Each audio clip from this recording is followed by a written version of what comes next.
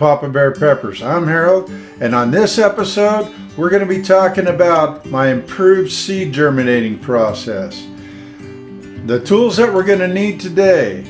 First of all, a measuring device and in this case this is a one teaspoon measuring cup.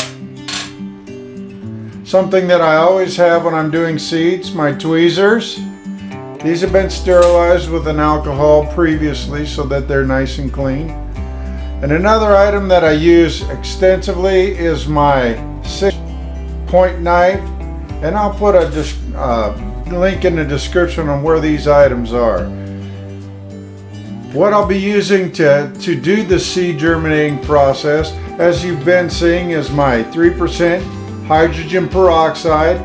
Make sure that it is 3% hydrogen peroxide. Purified water or it can be rainwater as in this case. And during my seed soaking period, I'm going to I'm going to use a product that I've used for years, and this is called Roots Excelurator by House and Garden.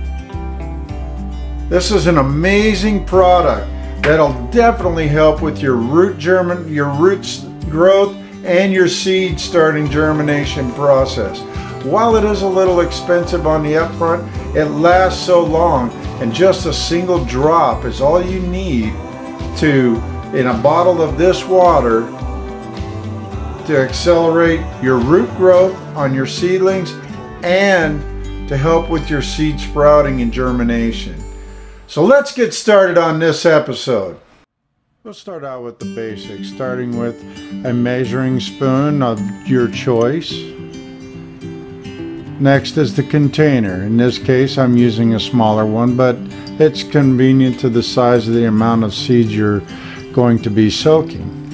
Next is our 3% hydrogen peroxide and water. In this case, we're using rainwater, but you can use filtered water, or if you do use tap water, give it time to soak to get the chlorine out of the water. Next we'll have our seeds, of course. And again, if you decide to, this is my choice when I'm doing a lot of seeds. And it's a multi-container that opens at the end. You push that in and it pops up. Put your seeds in and it clips right into place. It's really convenient when you're doing a lot of seeds in the refrigerator. So, next we're going to grab our soaking device and I'm going to put in the seeds that I'm going to use. In this case, you can see by the bag what we're using and you can see the marking on there. And also, I have a little label on here that identifies the number that I have corresponding with that bag. So next, I'm going to do equal parts of hydrogen peroxide to water. So one, in this case, one teaspoon of hydrogen peroxide.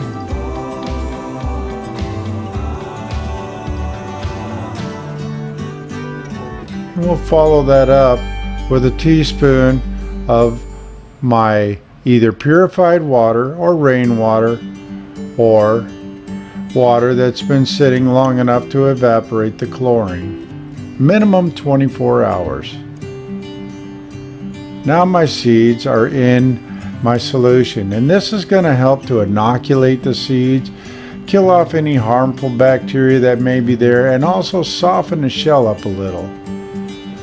So once I've got it in there I swirl it around a little bit just to get make sure that the seeds are completely covered. There we go. Now I'm going to come back in about 30 minutes to allow these seeds time to absorb the hydrogen peroxide and water solution and to completely cleanse them. In the meantime, I get some of the other items that I'm going to need for the soap.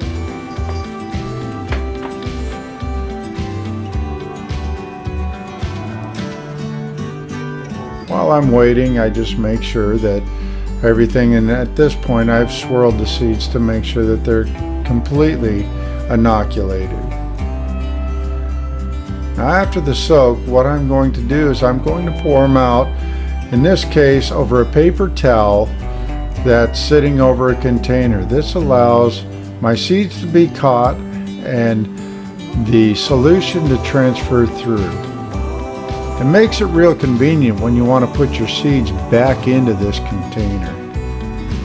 Couple of taps and then I get out my point blade to just get the rest of the seeds out, loosen them up so that I can get them out of my container.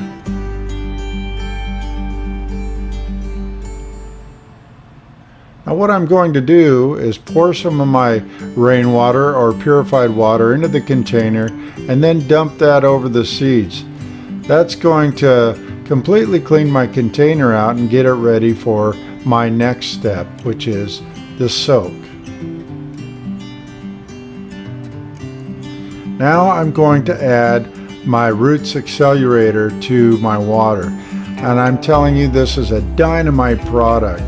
I've had this particular bottle for five years and it only takes a drop in a bottle of water to completely dissolve into that water and create the perfect solution for your seeds to germinate. Remember, after we've done the soak in the hydrogen peroxide water solution, it's going to allow the seeds to absorb this powerful root growth product into the seeds and accelerate our seed germination process. And that's all you need right there. That's about a quarter of a teaspoon, one, two drops. Shake vigorously so that you get a nice mix and you can see it turn the color of the water just slightly. Perfect. Now, I'm going to turn the seeds back into the container. I gather them to the center because then all I have to do is flip the paper towel back over on my container and they'll all be nicely put back into it. Now you can use another device if you need to, say a spoon, if you're putting them into a larger container. But for this purpose, it's working perfectly. I'll put them in and just tap the paper towel and they fall right in. I double check to make sure they're all in. And look, now they're all placed in there neatly. No seeds lost. Now I take my Roots Excelurator water solution and I pour some in there. Just enough to make sure the seeds are completely covered. Close the lid and it's off to the refrigerator they're going to go.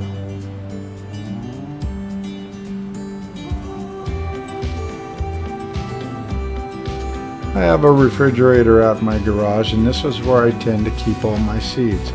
So it's in for the overnight soak. All right. The next day I come back to retrieve my seeds so I can go ahead and get them into my paper towel baggie improved method. I've noticed that the seeds have all fallen and that's a good sign. Make sure that you do look for that. As a rule of thumb, it's been my experience that if you do have floating seeds, a very good chance that they are not going to germinate. So what I tend to do is look at them and make sure that they've all went to the bottom. And I dump them out into my paper towel again over the bowl. This time I'm going to use that solution for my paper towel method. And prior to this, I fitted the paper towel that I'm going to place in my 3x4 baggie. And this is the perfect time to have your tweezers available to pull out those extra seeds. Just be careful you don't squeeze them too hard with the tweezers.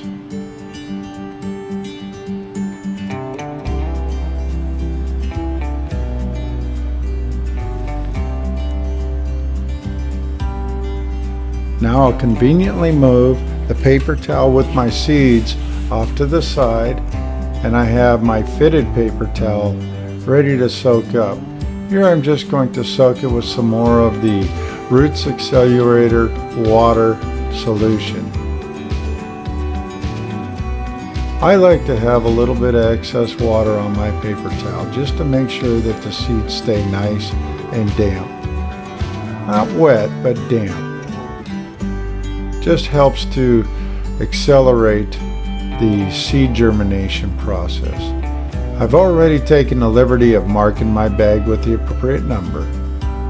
Now I lay my paper towel back out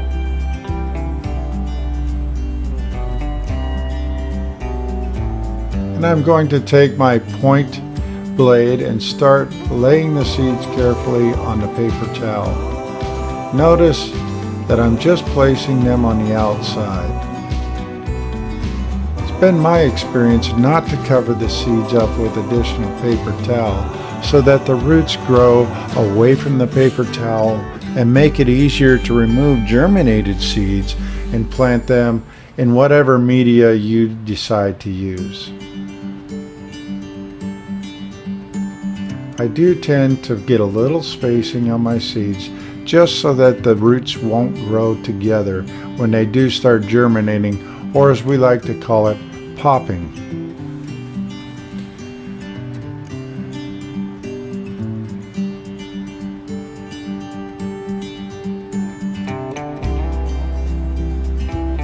Everything's going perfectly and this little knife point tool makes a great tool for just moving things around. It's just got the perfect little blade on one side and a little point on the other that I use for opening up holes on the plugs that I use and also in the soil.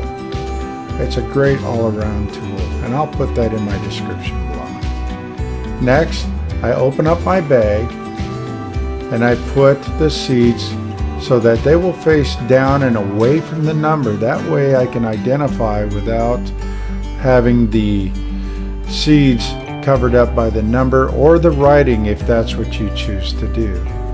Now I'm going to take my knife tool again and straighten out the bag inside of this bag. Obviously you could use a sandwich bag if you want or anything else depending on the amount of seeds that you use and what you have available you don't have one of these point knife tools, you can always use a pair of tweezers or some other kind of device. So once I get my seeds in there and they're placed the way I want them, I just lightly tamp down and then seal the bag up. You'll get enough oxygen through the bag that you don't have to worry about leaving the bag open.